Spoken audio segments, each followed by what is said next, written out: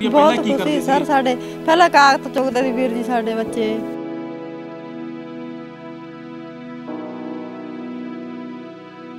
ਹਾਂਜੀ ਸਕੂਲ ਚੱਲਦਾ ਰਹਿਣਾ ਚਾਹੀਦਾ ਸਾਡੇ ਬੱਚਿਆਂ ਨੂੰ। ਵੀ ਆ ਵਧੀਆ ਕਾਗਜ਼ ਚੁੱਕਣ ਨਾਲੋਂ ਵੀ ਸਹੂਲਤ ਵਧੀਆ ਸਾਡੇ ਬੱਚਿਆਂ ਨੂੰ।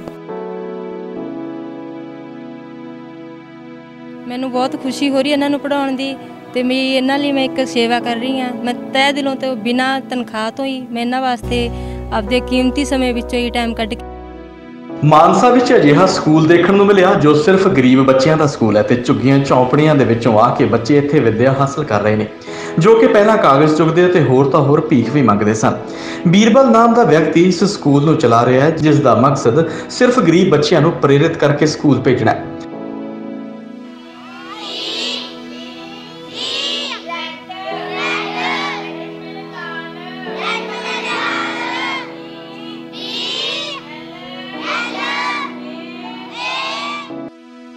ਇਸ ਵਿਅਕਤੀ ਨੇ ਦੱਸਿਆ ਹੈ ਕਿ ਸ਼ਹਿਰ ਦੇ ਵਿੱਚ ਦਾਨੀ ਸੱਜਣਾ ਦਾ, ਜਿਨ੍ਹਾਂ ਦਾ ਵੀ ਜਨਮ ਦਿਨ ਹੁੰਦਾ ਉਹ ਸਕੂਲ ਵਿੱਚ ਆ ਕੇ ਕਾਪੀਆਂ, ਪੈਨ ਆਦਿ ਦੇ ਕੇ ਜਾਂਦੇ ਨੇ ਅਤੇ ਆਪਣਾ ਜਨਮ ਦਿਨ ਇਹਨਾਂ ਬੱਚਿਆਂ ਨਾਲ ਖੁਸ਼ੀ-ਖੁਸ਼ੀ ਮਨਾਉਂਦੇ ਨੇ ਅਤੇ ਖਾਣ ਪੀਣ ਦੀਆਂ ਵਸਤਾਂ ਇਹਨਾਂ ਨੂੰ ਦਿੱਤੀਆਂ ਜਾਂਦੀਆਂ ਨੇ।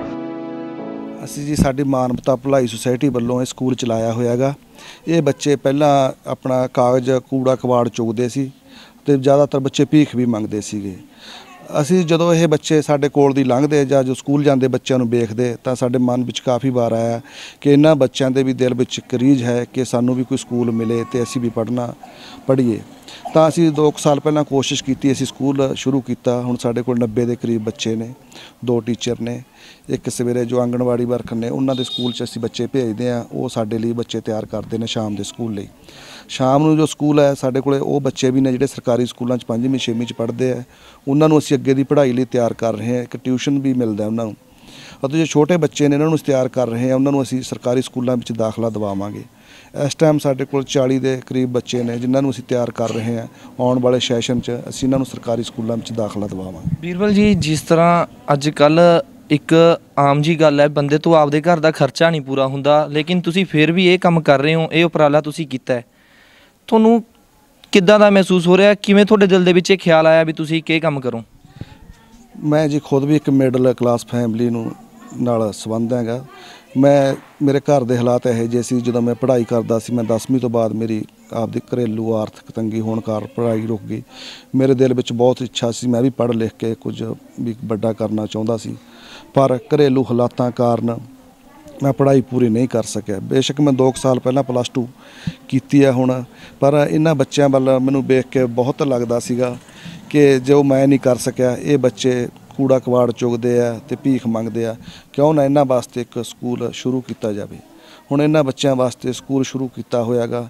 ਸਾਡਾ ਉਪਰਾਲਾ ਹੈਗਾ ਵੀ ਇਹਨਾਂ ਬੱਚਿਆਂ ਦੀ ਗਿਣਤੀ 150 200 ਦੇ ਉੱਪਰ ਅਸੀਂ ਲੈ ਕੇ ਜਾਵਾਂਗੇ। ਕਿੰਨਾ ਟਾਈਮ ਹੋ ਗਿਆ ਬੀਰਬਲ ਜੀ, ਜੋ ਤੁਹਾਨੂੰ ਇਹ ਸਕੂਲ ਸਟਾਰਟ ਕੀਤੇ ਨੂੰ? ਤੇ ਕੀ ਕੀ ਦਿੱਕਤਾਂ ਆਈਆਂ ਤੁਹਾਨੂੰ ਸਕੂਲ ਸਟਾਰਟ ਕਰਨ ਵੇਲੇ? ਕੀ ਕੋਈ ਪ੍ਰਸ਼ਾਸਨ ਦਾ ਸਹਿਯੋਗ ਤੁਹਾਨੂੰ ਮਿਲਿਆ? ਇਹ 2 ਸਾਲ ਪਹਿਲਾਂ ਅਸੀਂ ਸਕੂਲ ਸ਼ੁਰੂ ਕੀਤਾ ਸੀਗਾ। ਦਿੱਕਤਾਂ ਤਾਂ ਬਹੁਤ ਸਾਰੀਆਂ ਆਉਂਦੀਆਂ ਨੇ, ਕਿਉਂਕਿ ਅਜੇ ਤੱਕ ਅਸੀਂ ਇਹਨਾਂ ਬੱਚਿਆਂ ਵਾਸਤੇ ਆਪਣੇ ਸਕੂਲ ਦੀ ਇੱਕ ਵਰਦੀ ਵੀ ਨਹੀਂ ਤਿਆਰ ਕਰ ਸਕੇ। ਸਾਨੂੰ ਕੁਝ ਸਮਾਂ ਪਹਿਲਾਂ ਕੁਝ ਸਮਾਜ ਸੇਵੀ ਸੱਜਣ ਬੈਗ ਦੇ ਗਏ ਸੀ, ਹੁਣ ਵੀ ਬੈਗ ਦੇ ਕੇ ਗਏ ਨੇ, ਪਿਛਲੇ ਸਾਲ ਬੂਟ ਵੀ ਦੇ ਗਏ ਸੀਗੇ, ਹੋਰ ਵੀ ਆਉਂਦਾ ਰਹਿੰਦਾ ਹੈ। ਪਰ ਸਾਡੀ, ਮੇਰੀ ਇੱਕ ਦਿਲੀ ਇੱਛਾ ਸੀ ਕਿ ਇਹਨਾਂ ਸਾਰੇ ਬੱਚਿਆਂ ਦੇ ਇੱਕੋ ਜੀ ਵਰਦੀ, ਬੂਟ ਅਤੇ ਬੈਗ ਸਾਡੀ ਸੁਸਾਇਟੀ ਦੇ ਵੀ ਵੱਲੋਂ ਹੋਣ। ਪਰ ਮੈਂ ਖੁਦ ਵੀ ਆਪਣੇ ਵੱਲੋਂ ਇੰਨਾ ਕੁਝ ਨਹੀਂ ਕਰ ਸਕਦਾ।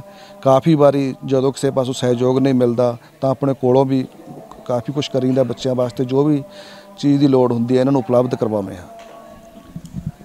ਤੁਹਾਨੂੰ ਕੀ ਲੱਗਦਾ ਬੀਰਬਲ ਜੀ ਵੀ ਜੇ ਇਸ ਤਰ੍ਹਾਂ ਦੇ ਸਕੂਲ ਹੋਰ ਵੀ ਕਾਫੀ ਜ਼ਿਲ੍ਹਿਆਂ ਦੇ ਵਿੱਚ ਖੁੱਲਣ ਜਿੱਦਾਂ ਕਿ ਤੁਸੀਂ ਮਾਨਸਾ ਦੇ ਵਿੱਚ ਖੋਲ੍ਹਿਆ, ਤਾਂ ਜੋ ਗਰੀਬ ਜਵਾਕ ਹੈ, ਉਹਨਾਂ ਨੂੰ ਪੜ੍ਹਾਈ ਦੇ ਵਿੱਚ ਵਾਧਾ ਹੋਊਗਾ ਤੇ ਬੇਰੁਜ਼ਗਾਰੀ ਦੇ ਬਾਰੇ ਤੁਹਾਡਾ ਕੀ ਇਹ ਜੋ ਬੱਚੇ ਨੇ ਜੇ ਇਹਨਾਂ ਵਾਸਤੇ ਹਰ ਇੱਕ ਸ਼ਹਿਰ ਵਿੱਚ ਇੱਕ ਸਕੂਲ ਖੋਲ੍ਹਿਆ ਜਾਵੇ, ਤਾਂ ਇਸ ਨਾਲ ਇੱਕ ਵੱਡਾ ਫਾਇਦਾ ਇਹ ਹੋਵੇਗਾ, ਕਿਉਂਕਿ ਇਹਨਾਂ 'ਚੋਂ ਬਹੁਤ ਸਾਰੇ ਬੱਚੇ ਜੋ ਭੀਖ ਮੰਗਦੇ ਸੀਗੇ, ਉਹ ਅਸੀਂ ਪ੍ਰਸ਼ਾਸਨ ਦੇ ਸਹਿਯੋਗ ਨਾਲ ਕੈਂਪ ਲਗਾਏ ਅਤੇ ਇਹਨਾਂ ਦੇ ਮਾਪਿਆਂ ਨੂੰ ਇਸ ਤਰ੍ਹਾਂ ਅਸੀਂ ਸਮਝਾਇਆ ਕਿ ਜੇ ਤੁਸੀਂ ਇਹ ਬੱਚੇ ਭੀਖ ਮੰਗਣਗੇ, ਤਾਂ ਤੁਹਾਡੇ ਤੇ ਕਾਰਵਾਈ ਹੋਵੇਗੀ। ਇਸ ਲਈ ਜੇ ਹਰ ਇੱਕ ਸ਼ਹਿਰ ਵਿੱਚ ਇਸ ਤਰ੍ਹਾਂ ਦੇ ਸਕੂਲ ਖੋਲ੍ਹੇ ਜਾਣ, ਇੱਕ ਤਾਂ ਇਹ ਬੱਚੇ ਪੜ੍ਹ ਲਿਖ ਕੇ ਸਰਕਾਰੀ ਸਕੂਲਾਂ ਵਿੱਚ ਜਾਣਗੇ ਤੇ ਅੱਗੇ ਤਰੱਕੀ ਕਰਨਗੇ, ਤਾਂ ਜੋ ਜੋ ਇਹਨਾਂ ਦੀ ਭੀਖ ਮੰਗਣ ਦੀ ਬਿਮਾਰੀ ਆ, ਉਸ ਤੋਂ ਵੀ ਇਹਨਾਂ ਨੂੰ ਛੁਟਕਾਰਾ ਮਿਲੇਗਾ। ਉਧਰ ਸਕੂਲ ਵਿੱਚ ਪੜਾਉਣ ਵਾਲੇ ਅਧਿਆਪਕ ਵੀ ਬਿਨਾਂ ਤਨਖਾਹ ਤੋਂ ਕੰਮ ਕਰਦੇ ਨੇ, ਕਿਉਂਕਿ ਉਹਨਾਂ ਦਾ ਵੀ ਟੀਚਾ ਹੈ ਕਿ ਜੋ ਬੱਚੇ ਇੰਨੀ ਬੁਰੀ ਸਥਿਤੀ ਵਾਲੀ ਜ਼ਿੰਦਗੀ ਬਤੀਤ ਕਰ ਰਹੇ ਹਨ, ਉਹਨਾਂ ਦੀ ਜ਼ਿੰਦਗੀ ਬਣ ਸਕੇ। ਚਾਰ ਸਾਲਾਂ ਤੋਂ ਬੱਚਿਆਂ ਨੂੰ ਪੜ੍ਹਾ ਰਹੀ ਹਾਂ ਜੀ। ਮੈਨੂੰ ਬਹੁਤ ਖੁਸ਼ੀ ਹੋ ਰਹੀ ਹੈ ਇਹਨਾਂ ਨੂੰ ਪੜਾਉਣ ਦੀ ਤੇ ਮੇਰੀ ਇਹਨਾਂ ਲਈ ਮੈਂ ਇੱਕ ਸੇਵਾ ਕਰ ਰਹੀ ਹਾਂ। ਮੈਂ ਤਹਿ ਦਿਲੋਂ ਤੇ ਬਿਨਾਂ ਤਨਖਾਹ ਤੋਂ ਹੀ ਮੈਂ ਇਹਨਾਂ ਵਾਸਤੇ ਆਪਦੇ ਕੀਮਤੀ ਸਮੇਂ ਵਿੱਚੋਂ ਹੀ ਟਾਈਮ ਕੱਢ ਕੇ ਮੈਂ ਇਹਨਾਂ ਬੱਚਿਆਂ ਲਈ ਟਾਈਮ ਤੇ ਸਕੂਲ ਲਾਉਂਦੀ ਹਾਂ ਟਾਈਮ ਤੇ ਸਾਰਾ ਕੁਝ ਇਹਨਾਂ ਨੂੰ ਬਹੁਤ ਵਧੀਆ ਜਿਹੜੀ ਇਹ ਸੇਵਾ ਮੁਹੱਈਆ ਕਰਵਾ ਰਹੇ ਨੇ ਵੀਰਵਲ ਜੀ ਤੇ ਤਹਿ ਦਿਲੋਂ ਇਹਨਾਂ ਦਾ ਧੰਨਵਾਦ ਕਰਦੇ ਹਾਂ ਅਸੀਂ। ਪਰ ਅਸੀਂ ਹੋਰ ਵੀ ਆਸ ਕਰਦੇ ਹਾਂ ਵੀ ਇਹ ਸਕੂਲ ਨੂੰ ਅਸੀਂ ਬਹੁਤ ਵਧੀਆ ਤਰੀਕੇ ਨਾਲ ਚਲਾਈਏ। ਗਰੀਬ ਬੱਚਿਆਂ ਦੇ ਮਾਪਿਓ ਨੇ ਵੀ ਦੱਸਿਆ ਕਿ ਸਕੂਲ ਵਿੱਚ ਜੇਕਰ ਉਹਨਾਂ ਦੇ ਬੱਚੇ ਪੜ੍ਹਨਗੇ ਤਾਂ ਉਹਨਾਂ ਨੂੰ ਇਸ ਕਦਰ ਦਿਹਾੜੀਆਂ ਮਜ਼ਦੂਰੀਆਂ ਨਹੀਂ ਕਰਨੀਆਂ ਪੈਣਗੀਆਂ ਅਤੇ ਉਹਨਾਂ ਦਾ ਭਵਿੱਖ ਚੰਗਾ ਬਣ ਸਕੇਗਾ। ਐਂ ਮੰਗ ਕਰਦੇ ਆ ਜੀ ਅਸੀਂ ਤਾਂ ਵੀ ਬੂਟ ਚ ਬੂਟ ਆਣੇ ਚਾਹੀਦੇ ਆ ਵੀ ਇਹਨਾਂ ਨੂੰ ਗਰਮ ਕੱਪੜੇ ਆਣੇ ਚਾਹੀਦੇ ਆ। ਹੁਣ ਜਿਵੇਂ ਪੜਾਉਂਦੇ ਆ ਸ਼ਾਮ ਨੂੰ ਇਹਨਾਂ ਵਾਸਤੇ ਵਰਦੀਆਂ ਵੀ ਆਉਣੀਆਂ ਚਾਹੀਦੀਆਂ ਵਾ। ਵੀ ਜਿਵੇਂ ਹੁਣ ਵਧੀਆ ਸਹੂਲਤ ਦੇਈ ਜਾਂਦੇ ਆ ਤੇ ਇਹਨਾਂ ਨੂੰ ਕੱਪੜੇ ਵੀ ਵਰਦੀਆਂ ਨਵੀਆਂ ਤੋਂ ਨਵੀਆਂ ਚਾਹੀਦੀਆਂ ਹੀ ਹੁੰਦੀਆਂ ਹੁਣ ਰੋਜ਼ ਉਦਾਂ ਹੀ ਆ ਜਾਂਦੇ ਆ ਨਹੀਂ ਬੱਚੇ। ਵਰਦੀਆਂ ਗਰਮ ਕੱਪੜੇ ਇਹਨਾਂ ਨੂੰ ਗਾਹਾਂ ਠੰਡ ਆ ਰਹੀ ਆ ਵੀ ਬੂਟ ਚੱਪਲਾਂ ਮਿਲਣੀਆਂ ਚਾਹੀਦੀਆਂ ਵਾ ਜਰੇਬਾਂ। ਪਾਸ਼ੋ ਜੀ ਜਿਵੇਂ ਤੁਹਾਡੇ ਬੱਚੇ ਇੱਥੇ ਪੜ੍ਹਦੇ ਨੇ ਸਕੂਲ 'ਚ ਕਿੰਨੀ ਖੁਸ਼ੀ ਮਹਿਸੂਸ ਹੋ ਰਹੀ ਹੈ ਪਹਿਲਾਂ ਕੀ ਕਰਦੇ ਸਰ ਸੀ? ਸਾਡੇ ਪਹਿਲਾਂ ਕਾਗਜ਼ ਚੁੱਕਦੇ ਸੀ ਵੀਰ ਜੀ ਸਾਡੇ ਬੱਚੇ। ਤੇ ਹੁਣ ਵਧੀਆ ਸਹੂਲਤ ਮਿਲਦੀ ਸਾਡੇ ਬੱਚਿਆਂ ਨੂੰ, ਸ਼ਾਮ ਨੂੰ ਵਧੀਆ ਮੈਡਮ ਬੱਚੇ ਪੜ੍ਹਾਉਂਦੀ ਆ। ਤੇ ਵਧੀਆ ਸਮਾਨ ਜੱਪਾ ਦੇ ਕੇ ਜਾਂਦੇ ਸਾਡੇ ਬੱਚਿਆਂ ਨੂੰ। ਹਾਂਜੀ।